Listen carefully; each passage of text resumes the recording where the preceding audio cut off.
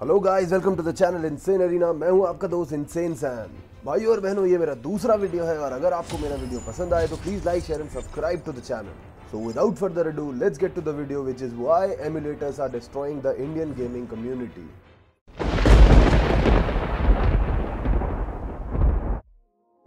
guys इस video में मैं बात करूँगा एक ऐसे यूट्यूबर के बारे में, जिसके पास तीन चार लाख रुपए का सेटअप है, लेकिन वो गेम फिर भी एमुलेटर पे ही खेलता है. एनी गेसेस नहीं यार डायनामो चाचा मोबाइल पे स्विच कर चुके हैं तो भाई लोगों छोड़ दो उनका पीछा। वैसे ही गेमिंग कम्युनिटी बहुत मार चुकी है इनकी। तो गाइज़ मैं बात करने वाला हूँ ड्रैको गेमिंग के बारे में। ड्रैको चाचा जिनका नाम है कुणाल शराफ।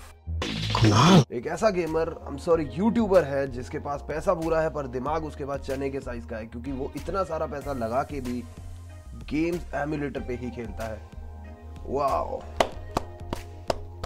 ड्रैको चचा खुद पबजी एमुलेटर प्रो है और अब उन्होंने अपने एमुलेटर का ज्ञान जो है कॉल ऑफ़ ड्यूटी मोबाइल में भी लगा दिया है। अब ड्रैको चाचा कॉल ऑफ़ ड्यूटी मोबाइल भी एमुलेटर पर खेलेंगे। भाई, चल क्या रहा है? There is a mobile word at the end of the name of the game चाचा कितना मुश्किल है इसको समझ पाना।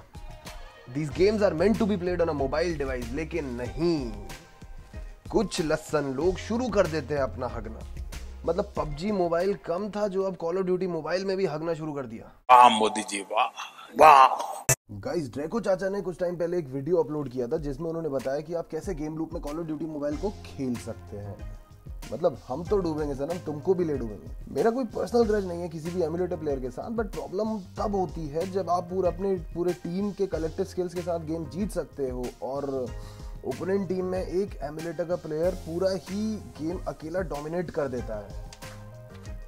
बहुत बुरा लगता है। इस पबजी में देर आर चांसेस कि आप एक एमुलेटर वाले के अगेंस्ट मैच नहीं होंगे unless you have an emulator player in your own team but call of duty mobile में ग्लोबल मैचिंग होती है, यानी कि आप एक एमुलेटर प्लेयर के अगेंस्ट भी आ सकते हैं।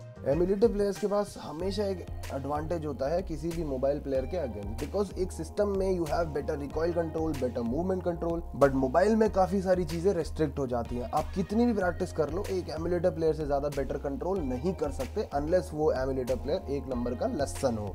गाइज़ एमुलेटर्स इनिशियली जो स्टार्ट हुए थे, वो इसलिए हुए थे ताकि प्ले स्टेशन वन के गेम्स जो थे, जैसे Tekken SmackDown Mortal Kombat etcetera etcetera उनको पीसी में खेला जा सके बिकॉज़ उस टाइम पे प्ले स्टेशन कोई भी अफोर्ड नहीं कर पाता था। बट अब इसकी डेफिनेशन बहुत ज़्यादा चेंज हो गई है। और ऐसे में ड्रैको चाचा जैसे एमुलेटर प्लेयर्स आते हैं एमुलेटर पे अपने स्किल्स दिखाते हैं, हमारे गलीबल गेमिंग कम्युनिटी में अपना फ़ैन बेस इस्टेब्लिश करते हैं यूट्यूब से पैसा कमाते हैं और हम जैसे मोबाइल प्लेयर्स की बजा देते हैं। अरे चाचा, इतना महँगा सिस्टम है। मोबाइल भी am pretty sure iPhone X ही होगा।